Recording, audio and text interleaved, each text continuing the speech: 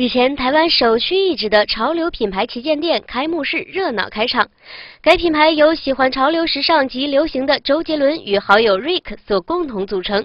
当日，两人也专程到场出席了这次剪彩活动。创意人，台湾的品牌，三秒钟之后，请二位剪彩正式宣告 Fantasy 台北旗舰店的开幕。三、二、一，恭喜！现在呢，请呃二位站到台前来，我们再来合照一下。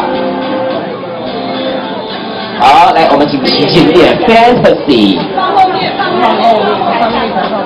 哎，两位有点互动嘛，两位，觉得陪他一下，互动一下，他一个人手足无措，你看看。在接受记者采访时，周董表示，之前的店铺在隔壁街，由于被水淹，才找到这间更大的店铺，并笑称一切都是天意。早前，周董有表示希望迈入主持界。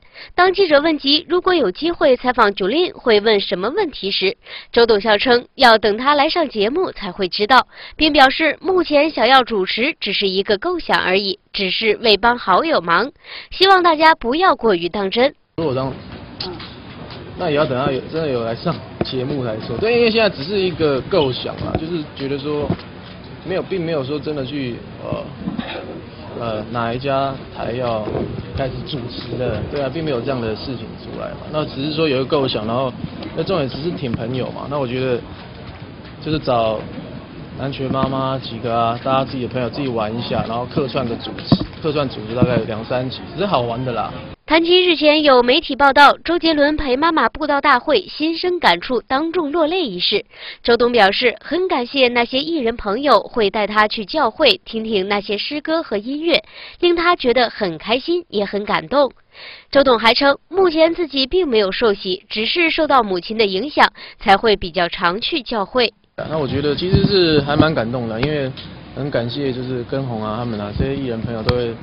对啊，有时候带我去教会一下这样，然后他们唱唱诗歌啊，听听这些音乐，我觉得其实很开心。所以大家很关心你要受洗。嗯，还没有哎，对啊，当然因为其实受到妈妈的影响嘛，对，受到妈妈影响，其实我觉得呃还是蛮常去教会，如果有空的话，对。